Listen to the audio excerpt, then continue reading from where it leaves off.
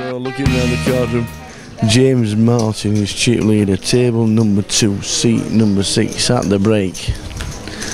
And there is James. Chip leader he was.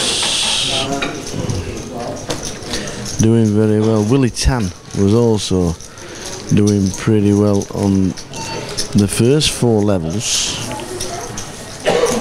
So just have a quick round. Victor Ilyukin in the middle of the table has had a re-entry. Victor Ilyukin Senior is doing all right. So we- we've got Victor Ilyukin all in. We've got a hand here with uh, Calic. Oh, Cal. Cal has got a set of nines against the ace ten. The set of nines drawing a bit thin. Is Victor?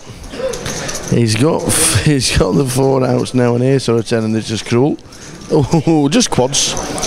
Nines against ace ten. The ace, the ace came just to get the creeps up for Cal. And Cal with pocket nines against ace ten. Top, top for Victor. Very unfortunately, he ran into a set of nines which turned into quads, picking up the action as it happens.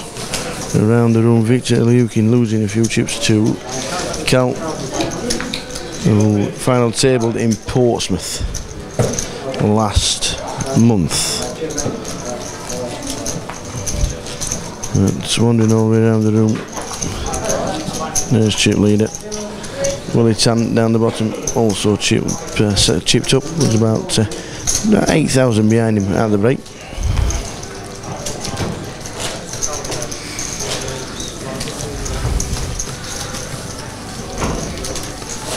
Plenty of players this week from Blue Bloods, and Pat Simcoe is one of them. But as we stand at this moment in time, James Martin, chip leader, just as we come into level number five, just after the dinner break, and Willie Tan also striding on nicely indeed.